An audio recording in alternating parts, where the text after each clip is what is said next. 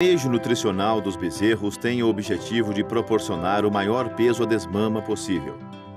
Tradicionalmente no Brasil, as crias têm sido desmamadas com idade variando entre 7 e 8 meses, pesando cerca de 150 quilos.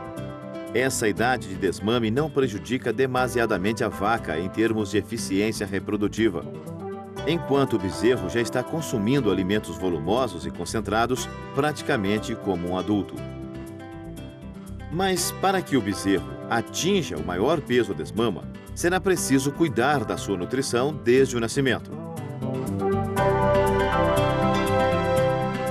Nas primeiras quatro ou cinco semanas de vida, o único alimento consumido pelo bezerro é o leite. Desde que a matriz seja boa produtora de leite e se o bezerro está em boas condições sanitárias, com saúde para acompanhar sua mãe, estará criada aí a condição necessária para que o animal permaneça bem nutrido. Nas primeiras semanas de vida do bezerro, seu aparelho digestivo funciona como se ele fosse um animal monogástrico, apesar da presença do rumen, do retículo e do omaso. Estes pré-estômagos não estão funcionais. O leite é ingerido e interceptado por uma estrutura chamada goteira esofágica, que se forma desviando o leite que vai direto para o abomaso, onde ocorre a digestão química nos ruminantes sem passar pelo rumen. A ingestão inicial exclusiva de leite e a forma de digestão feita pelo estômago compensa o fato dos órgãos digestores de fibras do bezerro não estarem funcionando. Com o passar dos dias, entretanto, o rumen começa a se desenvolver, estimulado pelo consumo crescente de alimentos sólidos, particularmente forragem, até estar em plena atividade.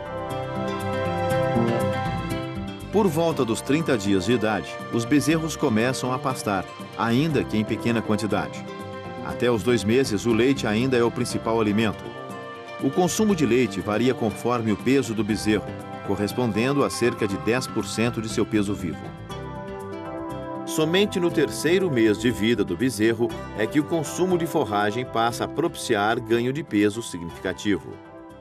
Além de pastagem, os bezerros também precisam de água.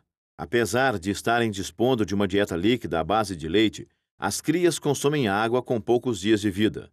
Por isso, os bebedouros devem oferecer facilidade de acesso aos bezerros para que tenham à disposição água limpa e fresca para consumo à vontade. Eles também podem e devem consumir mistura mineral de boa qualidade, cuja composição é diferente quando comparado ao fornecido às matrizes. O coxo deve ser baixo o suficiente para que os bezerros possam se acostumar